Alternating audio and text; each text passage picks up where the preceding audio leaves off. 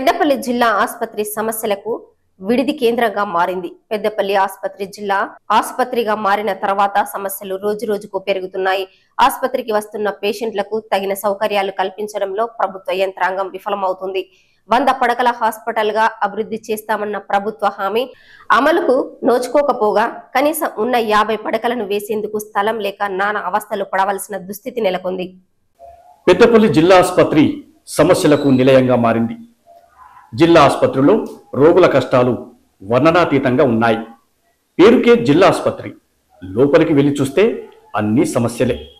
ఒకప్పుడు ముప్పై పడకల ఆరోగ్య కేంద్రంగా ఉన్న పెద్దపల్లి ప్రభుత్వ ఆసుపత్రిని ఆ తర్వాత యాభై పడకల ఆసుపత్రిగా అప్గ్రేడ్ చేశారు. పెద్దపల్లి జిల్లా కేంద్రంగా ఏర్పడిన తర్వాత అదే ఆసుపత్రికి జిల్లా ఆసుపత్రిగా నామకరణం చేశారు.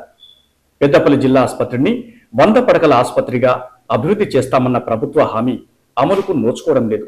జిల్లా ఆసుపత్రిగా మారిన తర్వాత సమస్యలకు విడిది కేంద్రంగా మారింది. ఉన్న యాభై పడకలను వేసేందుకు వార్డులు లేక నానా అవస్థలు పడుతున్నారు. యాభై పడకల ఆసుపత్రిగా ఉన్న సమయంలో ఉన్న వార్డులను ఒకటొకటిగా ఇతర డిపార్ట్మెంట్లకు కేటాయించడంతో ప్రస్తుతం రెండు వార్డులే పేషెంట్ల కోసం మిగిలాయి. రెండు వార్డులలో ఇరవై నుంచి ముప్పై వరకు బెడ్లు వేస్తుండగా మిగతా పేషెంట్లకు వరండాలో మంచాలు వేస్తూ ట్రీట్మెంట్ చేస్తున్నారు.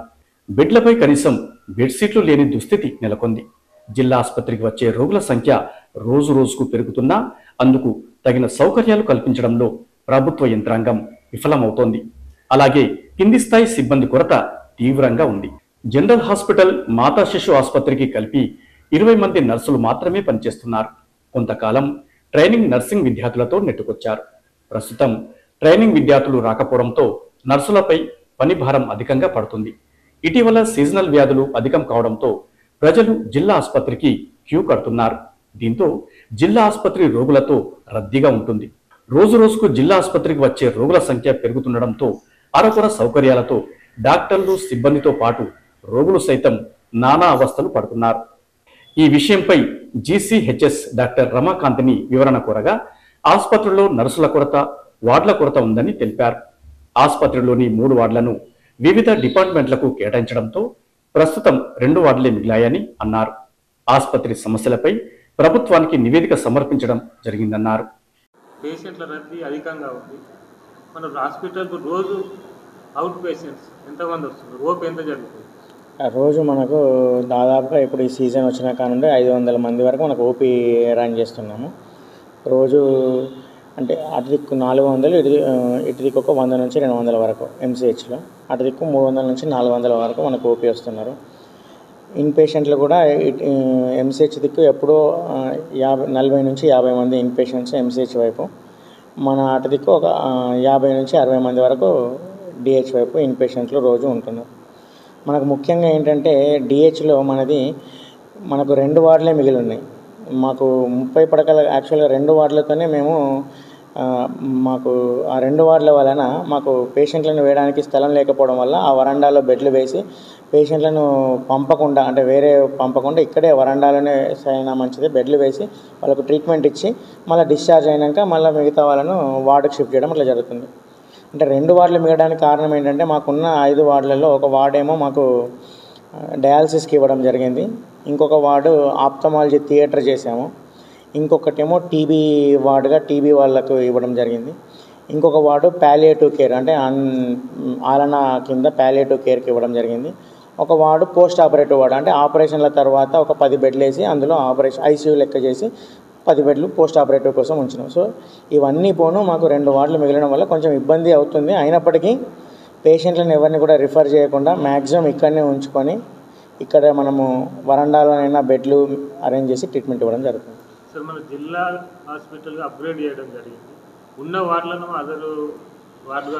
చేసినప్పుడు ఆల్టర్నేటివ్ మనకు ప్రత్యామ్నాయం లేకుండా ఎలా చేయొచ్చు? అంటే ఇప్పుడు మాకు ప్రపోజల్స్ ఆల్రెడీ మేము జిల్లా ఆసుపత్రికి కన్వర్ట్ అయింది కాబట్టి దీనికి ప్రపోజల్స్ ఆల్రెడీ పంపించాము కమిషనర్ గారికి. అధికారుల దృష్టిలో దీన్ని మళ్ళా ఆ పడకల సామర్థ్యం పెంచడానికి కొత్తగా కన్స్ట్రక్షన్ చేయాల్సి ఉంటుంది. అది మేము కమిషనర్ దృష్టికి ఆల్రెడీ తీసుకువెళ్ళాము సార్ ఈ మధ్యలో ఫీవర్స్ కేసెస్ ఎక్కువ వస్తున్నాయని తెలుస్తుంది ఏ రకమైన ఫీవర్స్ వస్తున్నాయి? అంటే ఇప్పుడు వచ్చే వాటిలలో ఎక్కువ వైరల్ ఫీవర్లు ఉంటున్నాయి.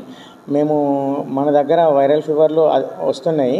కానీ ఏవి కూడా డెంగ్యూ అనేటివి చాలా తక్కువనే పాజిటివ్ ఉంటున్నాయి కానీ తక్కువగా ఉంటున్నాయి డెంగ్యూ పాజిటివ్లు అనేటివి వైరల్ ఫీవర్లో మాత్రం వారం ఐదు నుంచి వారం రోజుల వరకు జ్వరాలు వాతంట మనం తగ్గుతున్నాయి తగ్గుముఖం పడుతున్నాయి. ఇప్పటి వరకు మన దగ్గర డెంగ్యూ వల్ల కానీ వైరల్ ఫీవర్ల వల్ల కానీ ఎటువంటి ప్రాణ నష్టం జరగలేదు మన హాస్పిటల్లో మాత్రం. సార్ మన హాస్పిటల్లో వైద్య సిబ్బంది. డాక్టర్స్ కానివ్వండి నర్సెస్ కానివ్వండి ఎట్లా ఉంది? స్టాఫ్ సరిపోయేంత ఉందా ఏమన్నా కొరత ఉంది? అంటే జిల్లా ఆసుపత్రికి ఉండాల్సిన డాక్టర్ల వరకు అయితే అందరము ఉన్నాము. ఒక రెండు తప్ప సైకాట్రీ సైకాట్రీ డాక్టర్ లేరు. కానీ మిగతా స్టాఫ్ నర్సులు ఉన్న కింది సిబ్బంది స్థాయి పారామెడికల్ స్టాఫ్ కానీ ఎంఎన్ఓలు కానీ ఎఫ్ఎన్ఓ కానీ ఇది జిల్లా ఆసుపత్రి స్థాయిలో మనకు లేరు. మాకు స్టాఫ్ నర్సులు కూడా కొంచెం అవసరం ఉంది ఇంకా ఎక్కువ మంది.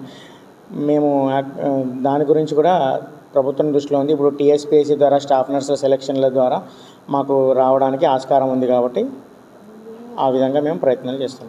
ఇప్పుడు రెండు ఎంసీహెచ్ కానీ డీసీ కానీ. సార్ ఎట్లా రన్ చేస్తున్నారు? సిబ్బంది కొరతను ఉ- సిబ్బంది కొరత ఉంది. అయినప్పటికీ ఎవరు కూడా ఆఫ్లు తీసుకోకుండా సిస్టర్లు కానీ ఇంకా సిబ్బందికి ఎవరికి క్యాజువల్ లీవ్స్ కానీ ఏ లీవ్స్ కూడా ఇవ్వకుండా ఉన్న వాళ్ళతో ఇప్పుడు సీజన్ కాబట్టి ముందు మనం అందరికీ ఖచ్చితంగా మనము ఎమర్జెన్సీ డిపార్ట్మెంట్ కాబట్టి మాకు కూడా వచ్చిన సూచనల ప్రకారంగా ఎవరికి లీవ్లు ఆఫ్లు ఇవ్వకుండా ఉన్న సిబ్బందితోని మా వంతు అందరికీ అందు వైద్యం అందుబాటులో అందరికీ అందించేలా మా ప్రయత్నం పోషకాహార వారోత్సవాలలో